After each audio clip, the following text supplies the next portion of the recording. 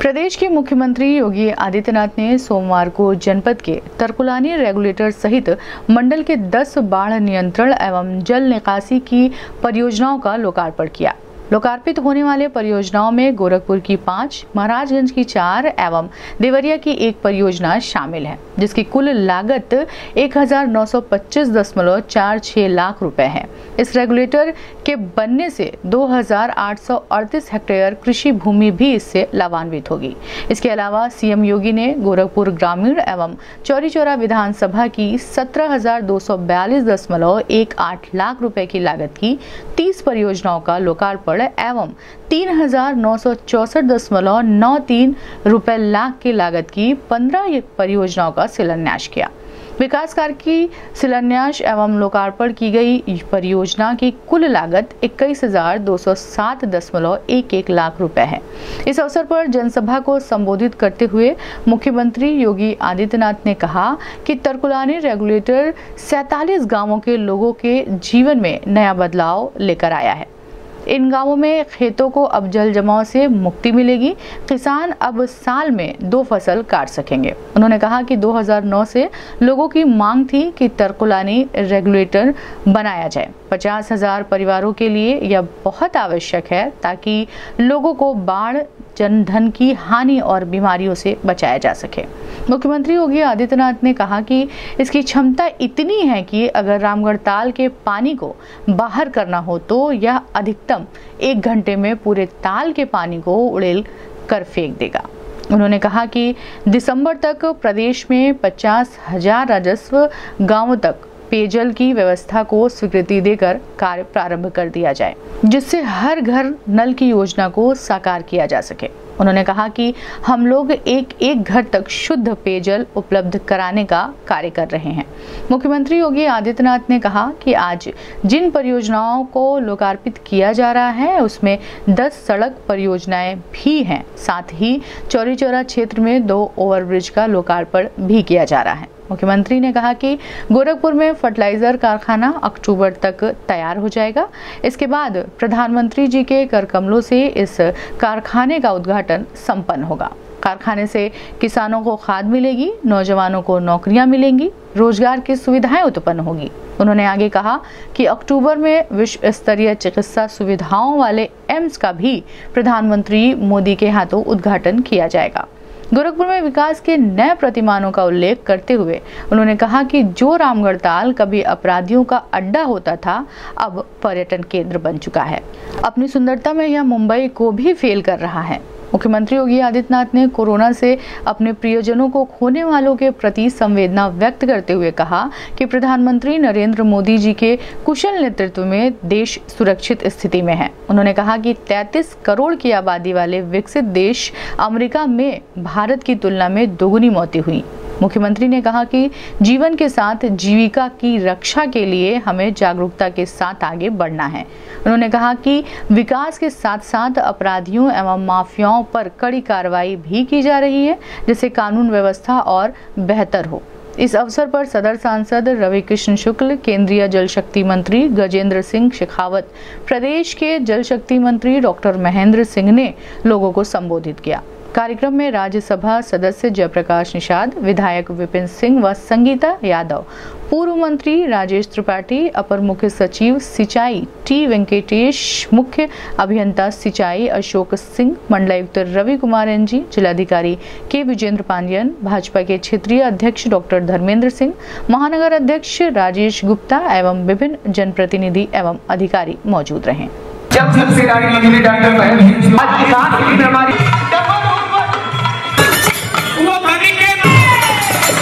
के थोड़ा मज़बूत है। आदरणीय विजय प्रताप सिंह जी महाराज। सरकार उत्तर प्रदेश के अंदर आई चली गई। आपका बेटा मदन की निगरानी करने के लिए भाई ला गोरखपुर के लाल हो कमा के मार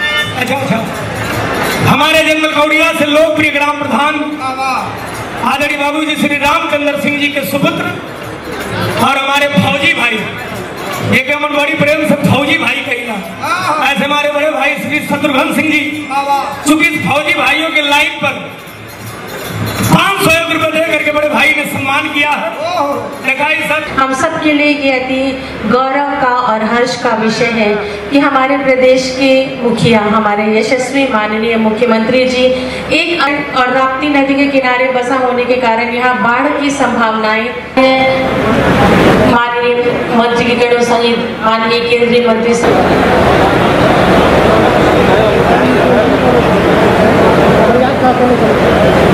फ़सलें जलमग्न हो जाती थी नेटवर्क नहीं है हमारे आपके घर के किसान केवल एक फसला खेती करने पर मजबूर थे यशस्वी माननीय मुख्यमंत्री जी का मंच पर आगमन हो रहा है।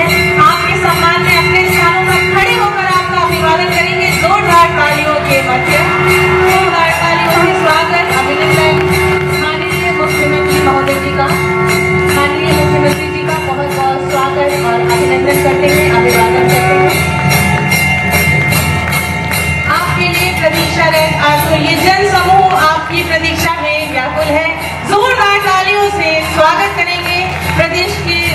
यशस्वी माननीय मुख्यमंत्री जी का। कृपया अपना स्थान ग्रहण करें, हमें अनुग्रहित करें। मैं इस मंच के माध्यम से स्वागत करती हूँ माननीय मुख्यमंत्री जी उत्तर प्रदेश। स्वागत है माननीय सांसद राज्यसभा, श्री जयप्रकाश निषाद जी। स्वागत है माननीय विधायक ग्रामीण, श्री विपिन सिंह जी। श्री फतेह बहादुर सिंह जी, माननीय विधायक कैंपियरगंज आपका स्वागत है। श्री के विजेंद्र पांडियन जी, जिलाधिकारी गोरखपुर। हम सर्वकारी मंगल दीपम नमामि हम। मंगल दीपम नमामि हम।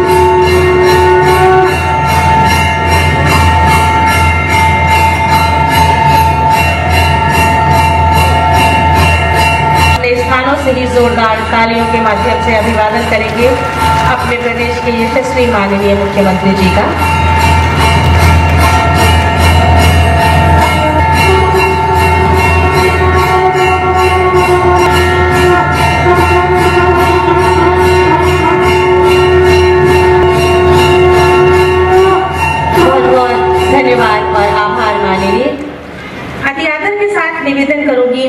विधायक श्री विपिन सिंह जी से, गोरखपुर ग्रामीण। महाराज जी का, आप सभी के प्र- तरफ़ से स्वागत करते हैं। साथियों आज़ादी के बाद से तमाम बार विधानसभा लोकसभा का चुनाव हुआ लेकिन चुनाव में तमाम आश्वासन दिए जाते थे तो पुरानी रेगुलेटर बन, हम बनवा देंगे हम बनवा देंगे। लेकिन पूज्य महाराज जी जब उत्तर प्रदेश की बागडोर संभाले और आपका बेटा विधायक हुआ मेरे भाग्य में लिखा था पूज्य महाराज जी के द्वारा इसको पैसा देना चौरासी करोड़ छियासी लाख रुपए से साथियों, आपका पंपिंग स्टेशन बनकर तैयार हुआ इसी के साथ प्लस, गोरखपुर मंडल की बड़ी बड़ी परियोजना का पूज महाराज जी ने आज यहाँ लोकार्पण किया है। हम सभी हम अपने जल शक्ति मंत्री भारत सरकार का गोरखपुर की जनता की तरफ़ से, अपने जल शक्ति मंत्री उत्तर प्रदेश आदरणीय डॉक्टर महेंद्र सिंह जी का सम्मानित मंच को प्रणाम करते हुए, आप सभी को बहुत बहुत धन्यवाद देते हुए, इतनी बरसात में भी आप लोग इतनी भारी संख्या में पूज्य महाराज जी का स्वागत करने आए। बहुत बहुत धन्यवाद। सबके प्रणाम करब क्योंकि समय कम है, महाराज जी को और आगे भी जाना है। बहुत सारे काम हैं। दो मिनट में हम बात हमार सुन लिया। देखा भैया हो? अभी आप लोगों ने पर्दे पे देखा क्या हुआ? हम लोग वहाँ क्या कर रहे थे? ये रेगुलेटर बा, पचासी करोड़ रुपया का आज आप लोग आशीर्वाद देने, धन्यवाद देने महाराज जी को आए हो, काहे मालूम बा? कि जब महाराज जी, यह आवाज़ तरकुलानी के रेगुलेटर का आवाज़, जब इस संसद में गूंजत रहे, महाराज जी सड़क से लेकर संसद तक आंदोलन किए थे। क्यों आंदोलन किए थे मालूम है? कई साल से, याद करो, अगर जो लड़का लोग है, जो पहली बार वोटर है, अपने माई बाबू से जाके पूछिए कि महाराज जी कैसे आंदोलन किए थे, यह रेगुलेटर के लिए। इस वक्त महाराज जी मंच पर बैठे हैं, सबसे ज़्यादा भावुक हैं। महाराज जी बोलते नहीं, लेकिन उनकी भावनाएँ बहुत भावुक है, जितनी आप लोग हैं। कहें कि जब खेतियर मजदूर किसान यहाँ से जाता था मंदिर में, और महाराज जी के कहा रहे कि, महाराज जी, खेती कैसे हुई? हमारे बाल बच्चा कैसे जी हैं? पानी में कुल खेत बुड़ गई बा। पचास हज़ार परिवार, पचास हज़ार किसान। हर बार में, यह खोरा बार में पानी में खेत बुड़ जाता था, मकान बुड़ जाते रहे। लोगन के बाल बच्चा अगर तबीयत खराब हो गई इंसाफ्लाइटिस हो गया, जाने के लिए रास्ता नहीं, कहे कि पूरा इलाका पानी से डूबा हुआ था। याद है सपा की सरकार में, बसपा की सरकार में? याद है सपा के जो सरदार हैं, वो लोग कहते थे, अरे राम, कितना बेवकूफ़ बनाए लोगों ने, महाराज जी। एक करोड़ रुपया उसका बजट पारित था। ये रेगुलेटर का, सपा की सरकार के मुख्यमंत्री बोलते थे, एक करोड़ रुपया पास हो गया, अब रेगुलेटर बन जाएगा, एक लाख की आबादी बाढ़ से मुक्त हो जाएगी। इतना झूठ, पचासी करोड़ रुपया लगा है यहाँ। ये लोग लूटे हैं, धोखा दिए हैं हमेशा, उत्तर प्रदेश को, गोरखपुर को। घोड़ाबार की माटी को जात बिरादरी के नाम पे सिर्फ़ ये लोगों ने अपराध किया है। एक करोड़ रुपया। आज पूछो महाराज जी का सरकार आई। कल डॉक्टर धर्मेंद्र सिंह कह रहे थे कि उन्नीस से लेकर 2017 तक का गोरखपुर याद करो। उन्नीस से लेके 2017 तक का उत्तर प्रदेश याद करो। उन्नीस से लेके 2014 तक का मेरा भारत याद करो, जब यशस्वी प्रधानमंत्री नरेंद्र मोदी जी आए। और मेरा भारत बदलने लगा। मेरा गाँव बदलने लगा, मेरा गरीब बदलने लगा, मेरा गुरबा बदलने लगा, हर बिरादरी बदलने लगी। क्या किए ये सब? लूटे। अपना पेट भरे, अपने महल बनाए। भारतीय जनता पार्टी ऐसा नहीं करती है। भारतीय जनता पार्टी राष्ट्र की पार्टी है। भारतीय जनता पार्टी देश के लिए जीती है। भारतीय जनता पार्टी गरीबों की पार्टी है। आज देखा खोराबार में रेगुलेटर लग गई। ढाई साल में मात्र भैल काम 2018 में शुरू भैल रहे। और ऐसे अनगिनत सौगात, अब ये पर्दा खुलेगा और कितने करोड़ों का सौगात आएगा। इसके बाद हम सजनवा जाएँगे। उतने करोड़, कल एक करोड़ का। पूज्य महाराज जी ने दिशा, दशा बदल दी। नया भारत, नया उत्तर प्रदेश, नया गोरखपुर। ओवैसी का चैलेंज आप लोग स्वीकारते हो? महाराज जी का जिताओगे कि क्या? ओवैसी को क्या जवाब दोगे? को क्या बोलोगे? कहा बोलूँगा बोला, भारत माता की। ना भी से आवाज़ आए कि चाहे प्रधानमंत्री भी सुन रहे हैं आप लोग को अभी। से आखिरी तक भारत माता की। वंदे वंदे।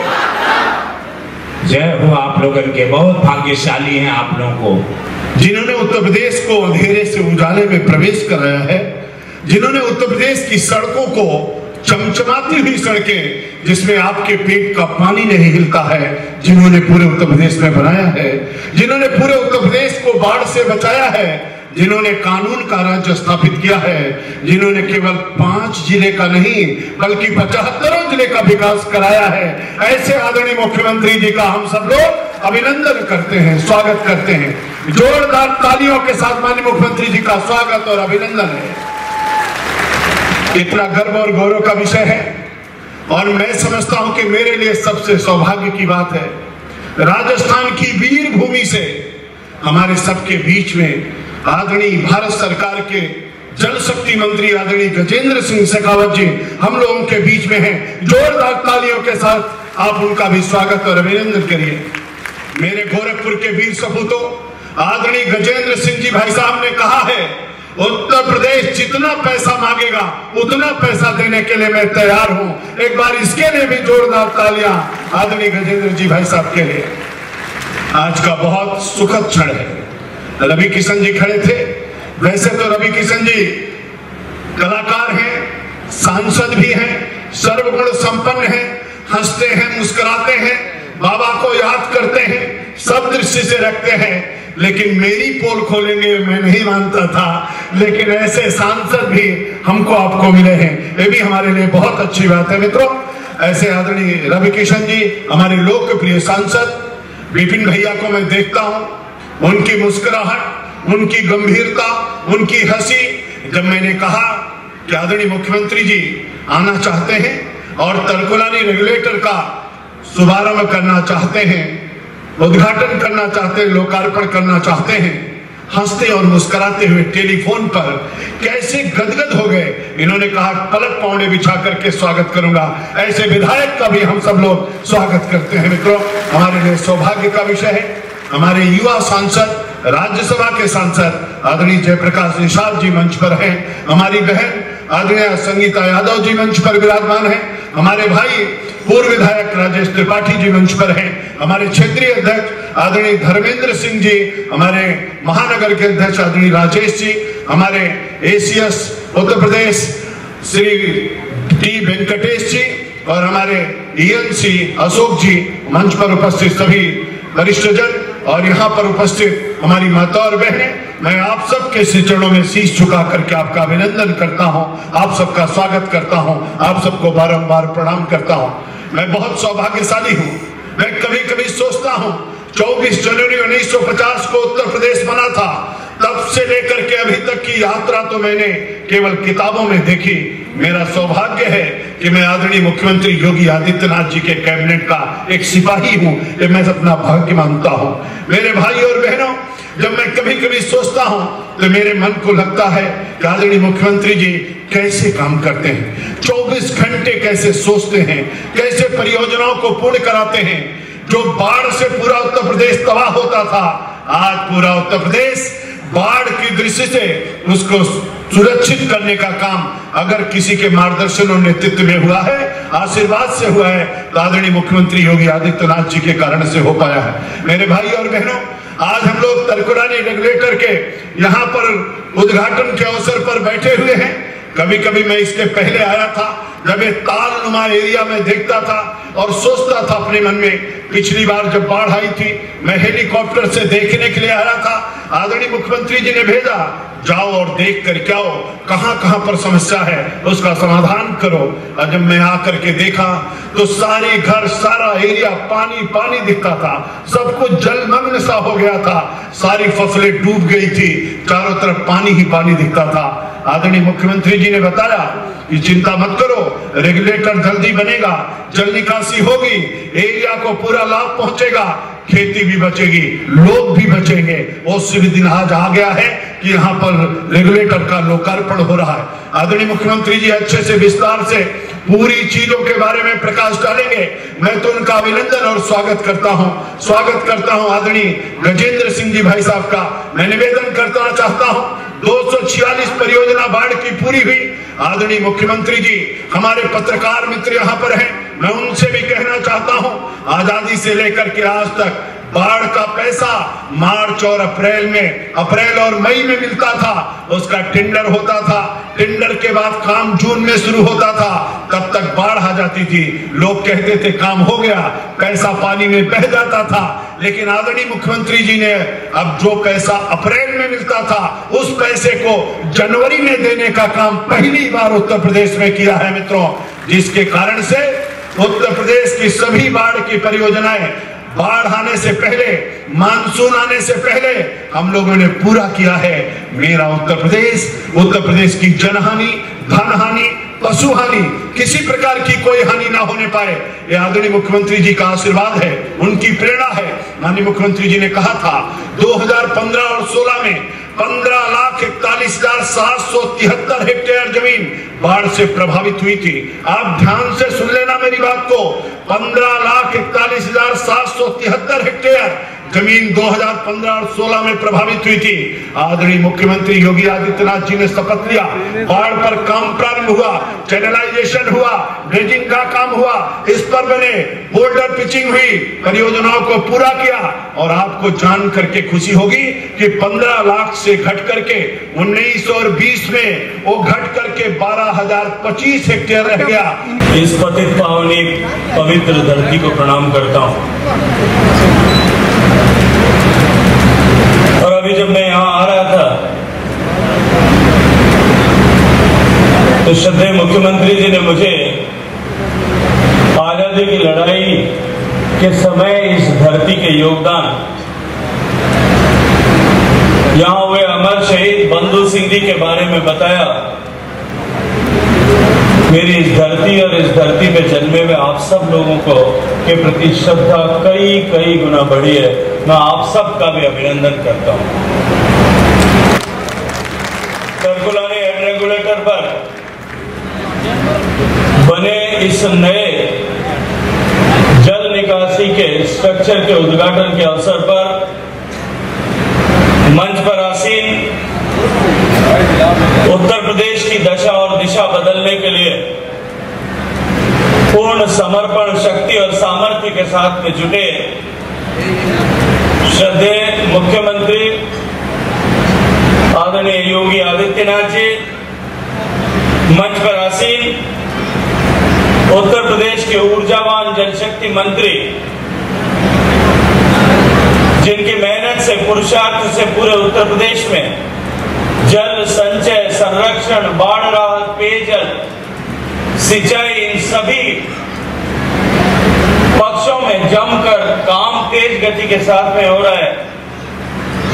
और देश में, महाराज जी, जब माननीय प्रधानमंत्री जी ने जल जैसे महत्वपूर्ण विषय को एकीकृत करके एक मंत्रालय बनाया 2019 से पहले जल का मंत्रालय अनेक अनेक विभागों में अनेक मंत्रालयों में बटा हुआ था। जल शक्ति मंत्रालय का गठन किया, मुझे आशीर्वाद दिया जल शक्ति मंत्री के नाते काम करने का अवसर दिया। मैं गर्व के साथ में ये कह सकता हूँ कि देश में उसके बाद पहला प्रदेश उत्तर प्रदेश था, जिसने एकीकृत जल शक्ति मंत्री मंत्रालय बनाया और उसका परिणाम आप सब लोग देख रहे हैं, ऐसे डॉक्टर महेंद्र सिंह जी। मंच पर आसीन। मैं सोचता था कि रवि किशन जी की आवाज़ आप लोगों के लिए केवल संसद में ही इतनी ज़ोर से गूंजती है। आज मुझे लगा कि अपने क्षेत्र में भी उतनी ऊर्जा के साथ में बात करते हैं। मेरे अभिन्न मित्र, आपके यशस्वी सांसद श्री रवि किशन जी, राज्यसभा के सांसद, आदरणीय जयप्रकाश जी, क्षेत्रीय अध्यक्ष आदरणीय डॉक्टर धर्मेंद्र सिंह जी, स्थानीय विधायक आदरणीय विपिन सिंह जी, विधायक आदरणीय संगीता जी, आदरणीय महानगर के अध्यक्ष आदरणीय राजेश गुप्त जी, उत्तर प्रदेश शासन में अतिरिक्त मुख्य सचिव आदरणीय टी वेंकटेश जी, मंच पर आसीन भारतीय जनता पार्टी के अन्य नेता जनप्रतिनिधिगण, सरकारी अधिकारीगण और इस पतित पावनी पवित्र धरती गोरक्षनाथ जी की धरती के सारे मेरे भाइयों, बहनों, युवा साथियों, पत्रकार मित्रों, मैं अपने आप को गौरवान्वित महसूस कर रहा हूँ कि मुझे एक ऐसी धरती पर आने का अवसर मिला जिसने देश को आज़ाद कराने के लिए जो आज़ादी की लड़ाई अठारह सौ सत्तावन में अंग्रेज़ों से लिखी किताबों में कही जाती है, उससे पहले से इस देश के आज़ादी के संघर्ष के लिए अपने बलिदान की परंपरा प्रारंभ की और आज मुझे जब मैं यहाँ इस तरकुलानी के हेड रेगुलेटर पर खड़ा था, और जब मैंने देखा कि किस तरह से यहाँ में, बरसात में जो पानी, नदी में बाढ़ के कारण से जो पानी यहाँ इकट्ठा हो जाता है, उसे निकालने के लिए अनूठी परियोजना जो है, माननीय मुख्यमंत्री जी के, मैं कहूँगा कि एक नई खोज करते हुए उन्होंने प्रारंभ किया है। मुझे अत्यंत प्रसन्नता हुई यहाँ आकर के। मैं धन्यवाद देना चाहता हूँ कि इस परियोजना को देख करके अब मुझे भरोसा जागा है कि देश में ऐसा एक भी प्रदेश आने वाले समय में नहीं रहेगा, जहाँ बाढ़ से भरा हुआ पानी जो है, उसके निकासी का प्रबंधन न हो सके। ये अनूठा काम। और जिस तरह से माननीय मुख्यमंत्री जी ने इसे दो साल में पूरा करवाया, आने वाले समय में हज़ारों लोग जो इस क्षेत्र में निवास करते थे, उनके जीवन में निश्चित रूप से परिवर्तन आएगा माननीय नरेंद्र मोदी जी जब से देश के प्रधानमंत्री बने, देश में साधारण मानवीय के जीवन में परिवर्तन लाने के लिए, गाँव, गरीब, किसान, पीड़ित, शोषित, वंचित, इन सब के जीवन में परिवर्तन लाने के लिए निरंतर लगातार सात साल से यात्रा प्रारंभ चल रही है। हम सबको माननीय प्रधानमंत्री जी के आशीर्वाद से जो पिछले पाँच साल में जो सुविधाएँ मिली थी, गैस का चूल्हा मिला, गरीब को घर मिला, गरीब को शौचालय मिला, घर घर में बिजली पहुँची, हर घर में बैंक का खाता पहुँचा, कोरोना के समय में उस खाते में पैसा पहुँचा, किसान को सम्मान निधि पहुँची। लेकिन माननीय प्रधानमंत्री जी ने 2019 में जब आपने दोबारा आशीर्वाद दिया, उसके बाद तय किया कि देश के हर घर में पीने का पानी पहुँचना चाहिए 2019 में 15 अगस्त को स्वतंत्रता दिवस के दिन लाल किले के प्राचीर पर खड़े होकर के उन्होंने कहा कि पिछले पाँच और पिछले सत्तर साल में देश की सरकारों ने काम किया, प्रदेशों की सरकारों ने काम किया, स्थानीय सरकारों ने काम किया, लेकिन केवल देश में 19 करोड़ घर में से 3 करोड़ 23 लाख घर तक पीने का पानी पहुँच पाया मात्र 17 प्रतिशत घरों तक पानी पहुँचा था। देश के 16 करोड़ 17 करोड़ घर की माताओं, बहनों को नित्य प्रतिदिन पानी लेने के लिए अपने घर से बाहर जाना पड़ता था। मैं तो पश्चिमी राजस्थान से आता हूँ। मैं जब अभी महाराज जी के साथ में आ रहा था, हेलीकॉप्टर में चारों तरफ़ पानी देख रहा था। और खिड़की से मेरी नज़र हेलीकॉप्टर की खिड़की से हट नहीं रही थी। महाराज जी ने हँसते हुए कहा, आपके यहाँ पानी है नहीं, थोड़ा यहाँ से उठा करके ले जाइए। हमारे लोगों की भी समस्या का समाधान हो जाए मैं उस क्षेत्र से आता हूँ, जहाँ पीने का पानी भी नहीं उपलब्ध माताओं, बहनों को अपने सिर पर घड़ा रख करके मीलों मीलों दूर तक पीने का पानी लेने के लिए जाना पड़ता बारह साल की उम्र में छोटी बच्ची जब पीने का पानी लेने की लाने की यात्रा अपनी माँ के साथ कौतूहल वर्ष प्रारंभ करती है, तब से लेकर के जब सत्तर साल की उम्र तक उसकी कमर नहीं झुक जाती, लगातार नित्य प्रतिदिन उसको पानी लाने का परिश्रम करना पड़ता। माननीय प्रधानमंत्री जी ने तय किया कि माताओं बहनों को इस अभिशाप से मुक्ति मिलनी चाहिए। उन्हें स्वच्छ सुरक्षित पेयजल अपने घर में, अपने परिवार के बच्चों के लिए, अपने परिवार के सदस्यों के लिए मिलना चाहिए। देश भर में तीन लाख अस्सी हज़ार करोड़ के बैग की लागत से परियोजनाएँ प्रारंभ हुई।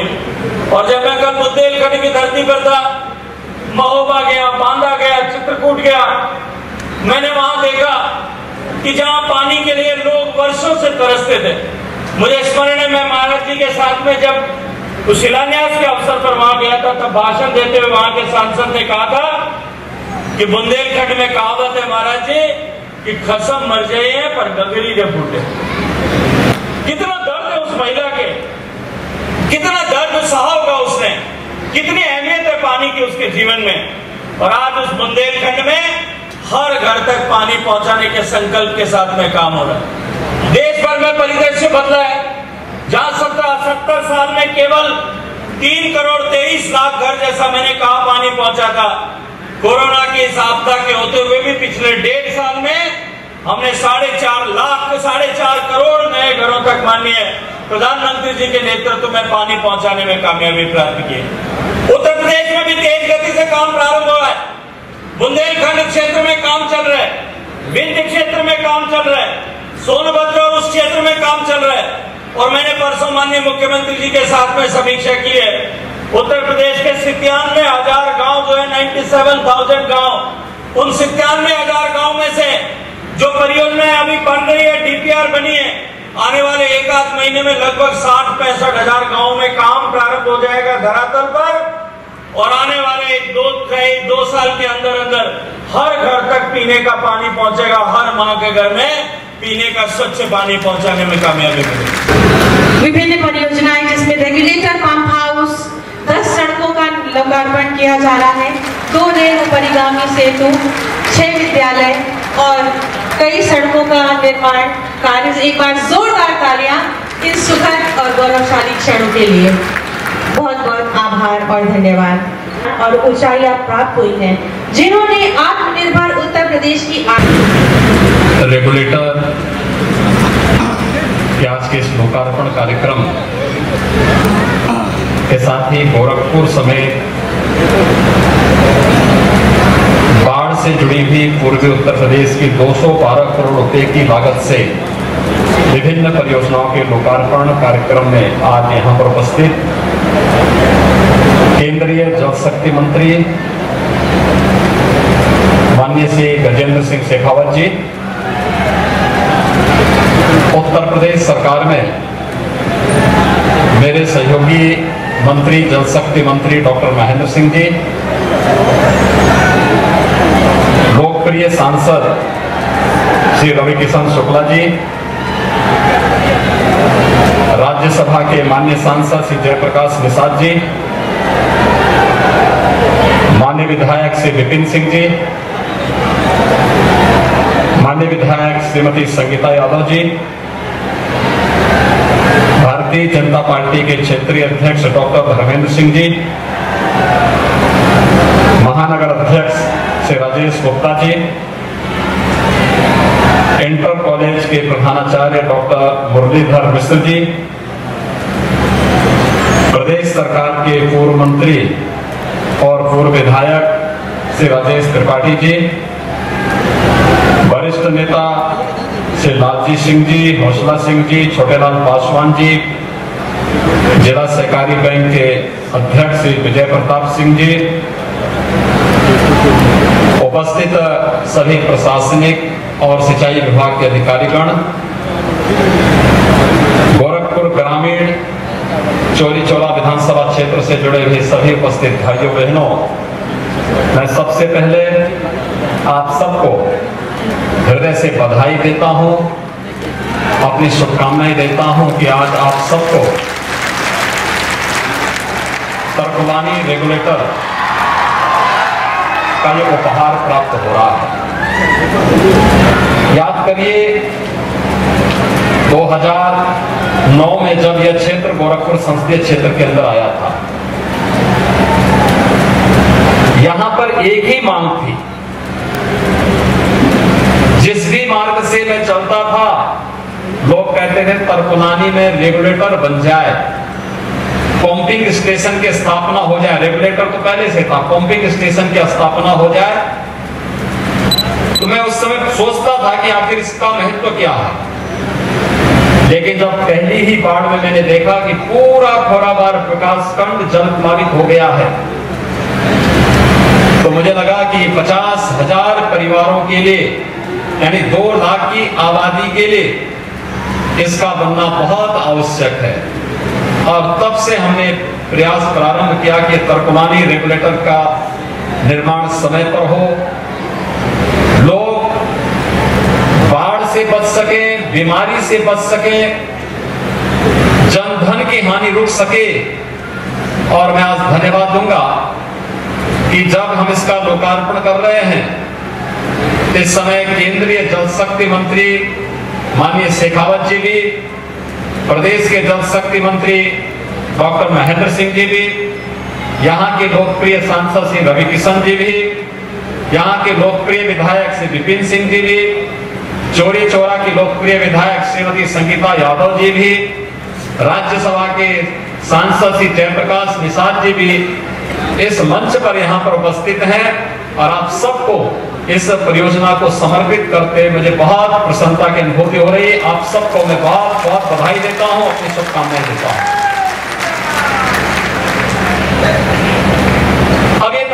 रेगुलेटर आज से काम करना प्रारंभ कर देगा। और उसकी क्षमता कितनी है, मधुर है। कि अगर रामगढ़ ताल के पानी को कहा जाएगा कि बाहर करना है तो मुश्किल से एक घंटे में पूरे रामगढ़ ताल के पानी को उड़ेल करके फेंक देगा।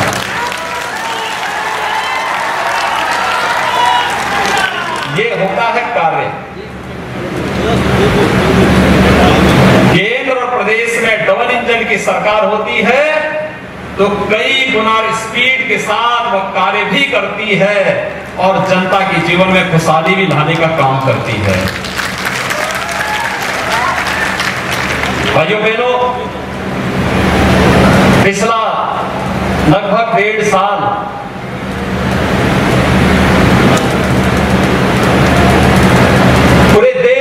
दुनिया के लिए। बहुत खराब रहा। कोरोना महामारी से न जाने कितने लोग दुनिया के अंदर, देश के अंदर बीमारी की चपेट में आ गए पूरी दुनिया के सामने एक भय का माहौल है लेकिन कोरोना से बचते हुए कोरोना के दौरान भी एक एक व्यक्ति के स्वास्थ्य की चिंता करनी है आदरणीय प्रधानमंत्री जी ने जो मंत्र दिए उसके अनुरूप लेकिन विकास के कार्यों में भी आँच नहीं आने देनी है नौजवानों के रोज़गार और नौकरी में भी आँच नहीं आने देनी है इस विश्वास के साथ जीवन और जीविका को बचाने का जो अभियान चला, आज कोरोना भी उत्तर प्रदेश के अंदर लगभग समाप्ति की ओर है और इसी में योजनाओं की, परियोजनाओं के विकास कार्यों को लोकार्पण करते हुए इसका लाभ भी आपको प्राप्त हो, यही अभियान सरकार के द्वारा प्रारंभ किया गया है मेरी संवेदना है उन सभी परिवारों के प्रति जिन्होंने कोरोना के दौरान कोरोना से या किसी अन्य बीमारी से अपने किसी स्वजन को खोया लेकिन यह महामारी है। हम सबको इस महामारी की त्रासदी को समझना होगा। याद करिए, भारत के अंदर तो प्रधानमंत्री मोदी जी के नेतृत्व में दुनिया के अंदर 135 करोड़ की आबादी का देश भारत। तब भी लड़ते हुए, जूझते हुए, अपने नागरिकों को बचाते हुए सुरक्षित स्थिति में है। अमेरिका, भारत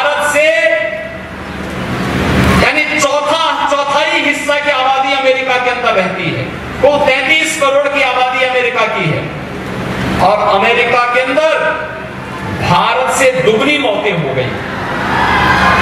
यानी अमेरिका, जबकि भारत की आबादी अमेरिका से चार गुनी ज़्यादा है। ज़्यादा विकसित है। लेकिन अमेरिका के अंदर ज़्यादा मौतें हो गई।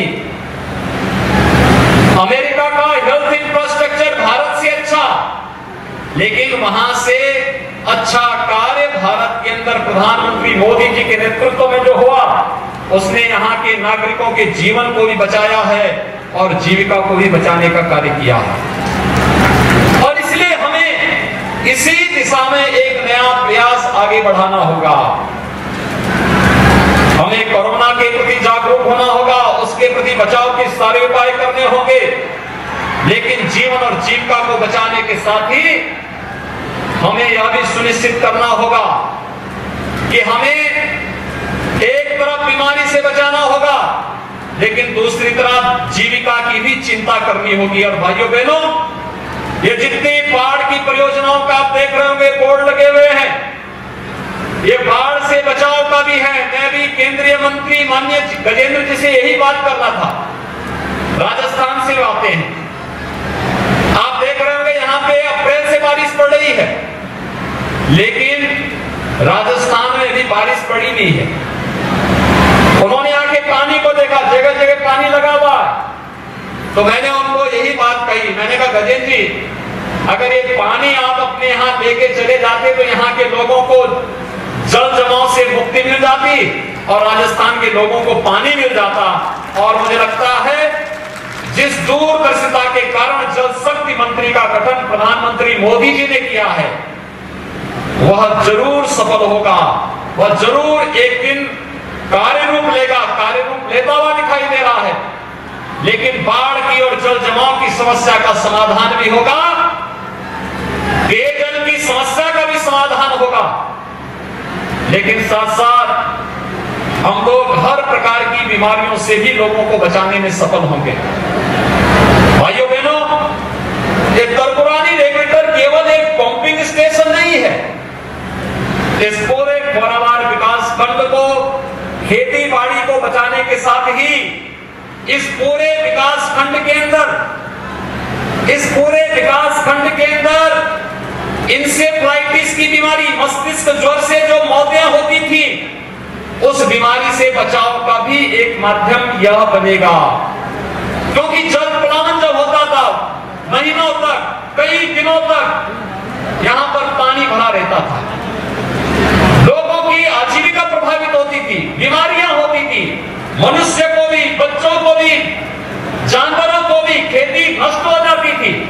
लेकिन अब आने वाले जब ये पंपिंग स्टेशन अब कार्य करना प्रारंभ कर दिया है, अब खेती बाड़ी भी बचेगी, बीमारियों से भी बचाव होगा और हमें जो एक नया जल जीवन मिशन हर घर नल की प्रारंभ हुई है।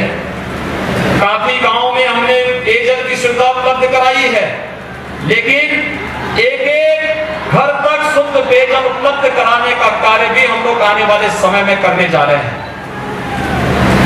बुंदेलखंड और बिंदु क्षेत्र में कार्य प्रारंभ हो चुका है। हर घर नल की योजना। हमारा प्रयास है दिसंबर तक प्रदेश के अंदर पचास हज़ार राजस्व गाँवों तक पेयजल की व्यवस्था की स्वीकृति देकर के कार्य प्रारंभ कर दिया जाए, जिससे हर घर नल की योजना के माध्यम से, हर घर के हर व्यक्ति को शुद्ध पेयजल की उपलब्धता के माध्यम से तमाम प्रकार की बीमारियों से इसे मुक्ति दिला सके। ये जो मस्तिष्क ज्वर है, इसका दो ही कारण था। भाइयों, मस्तिष्क ज्वर के पीछे का कारण ही था, और वह था एक वहाँ पर किसी भी प्रकार से मस्तिष्क ज्वर के कारण जो बीमारियाँ होती थी, उस बीमारी का कारण ही था एक गंदगी और दूसरा अशुद्ध जल। लेकिन आने वाले समय में किसी भी प्रकार की कोई बीमारी न रहने पाए, इस समस्या का समाधान करने के लिए आज जल जीवन मिशन के अंतर्गत हर घर नल की योजना क्रियान्वित करने का प्रयास हो रहा है और हमारा प्रयास है कि दिसंबर तक पचास हज़ार राजस्व गाँवों तक इस पेयजल की योजना को हम आगे बढ़ा सकेंगे। इस विश्वास के साथ हम लोग इस कार्यक्रम को आगे बढ़ा रहे हैं। आज जिन परियोजनाओं का लोकार्पण यहाँ पर किया जा रहा है तरकुलानी का रेगुलेटर पिचासी करोड़ रुपए की लागत से आज बन करके तैयार हुआ है। यह तो इस क्षेत्र को समर्पित किया ही जा रहा है। लेकिन साथ साथ चाहे वह दस परियोजनाएँ यहाँ की सड़कों की हैं, और साथ साथ चोरी चोरा क्षेत्र की दो उपरिगामी सेतु के लोकार्पण का कार्यक्रम भी आज यहाँ पर संपन्न हो रहा है। मैं चोरी चोरा क्षेत्र के सभी नागरिकों को इसके लिए, वहाँ की विधायक समेत वहाँ के नागरिकों को हृदय से बधाई देता हूँ, अपनी शुभकामनाएँ देता हूँ। भाइयों बहनों क्षेत्र में विद्यालयों के निर्माण का भी कार्य किया गया है। आज इसका भी यहाँ पर लोकार्पण का कार्यक्रम संपन्न हो रहा है। ये लोकार्पण का कार्यक्रम केवल एक औपचारिकता मात्र नहीं है। हर एक व्यक्ति के जीवन में खुशहाली लाने का माध्यम है। याद करिए 2016 में जब हम लोगों ने प्रधानमंत्री जी के कर कमलों से गोरखपुर में एम्स का शिलान्यास करवाया था तो मैंने एम्स का शिलान्यास इसीलिए इस घोराबार वाली रोड पर ही करवाया था। क्योंकि उस समय मैं जानता था कि इंसेफ्लाइटिस से सबसे ज़्यादा प्रभावित कोई विकास खंड था तो गोरखपुर में घोराबार विकास खंड था। भाइयों बहनों, आज एम्स बनकर के तैयार है और हमारा प्रयास है कि अक्टूबर तक पूरी तरह तैयार करके अक्टूबर में प्रधानमंत्री जी के कर से हम एम्स का भी उद्घाटन करवाएँगे और एम्स गोरखपुर में विश्व स्तरीय स्वास्थ्य सुविधा यहाँ के नागरिकों को प्रदान करने का कार्य करेगा। लेकिन साथ साथ तरकुरानी तरकुरानी रेगुलेटर यहाँ पर जल जमाव की समस्या का समाधान भी करेगा और यहाँ पर तमाम प्रकार की बीमारियों से बचाने का कार्य भी करेगा। यह कार्य यहाँ पर एक साथ आपको इतनी परियोजनाएँ मिल रही हैं।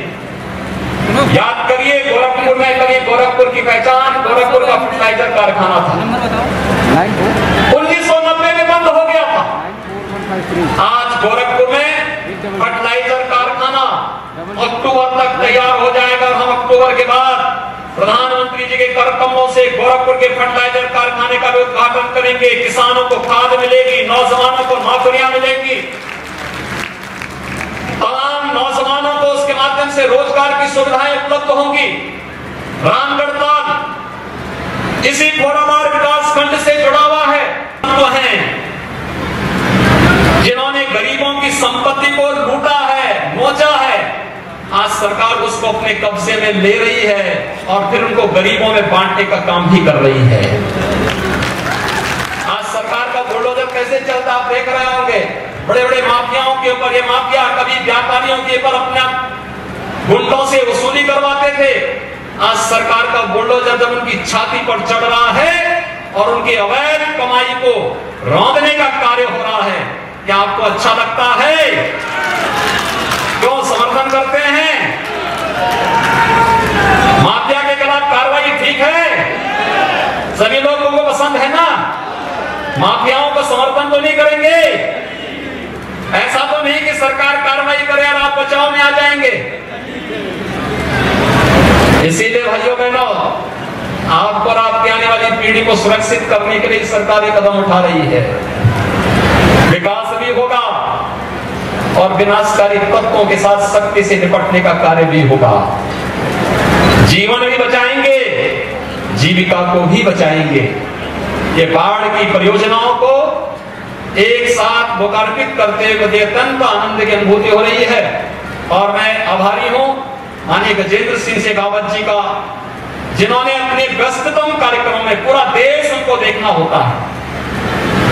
देश के अंदर बाढ़ की समस्या, देश के अंदर सूखे की समस्या, देश के अंदर पेयजल की व्यवस्था, देश के अंदर स्वच्छता की समस्या, देश के अंदर हर उस समस्या जो जल और जल से जुड़े हुए विभागों की है।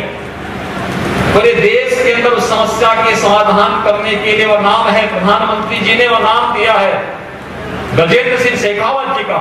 लेकिन अपने व्यस्ततम समय में से समय निकाल करके वे उत्तर प्रदेश में आए और आज गोरखपुर की इन परियोजनाओं के लोकार्पण कार्यक्रम के स्वयं साक्षी बने, उनका मार्गदर्शन, उनका आशीर्वाद यहाँ की जनता जनार्दन को प्राप्त हुआ है।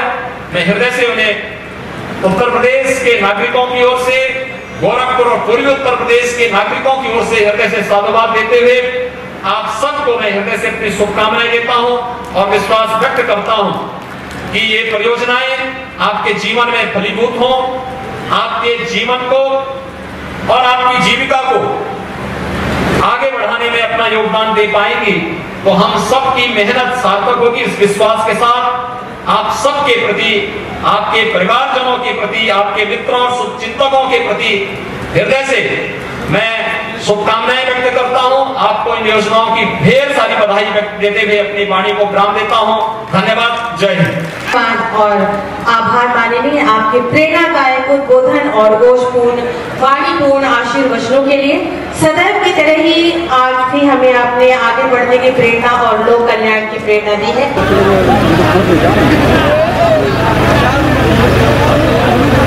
Hả?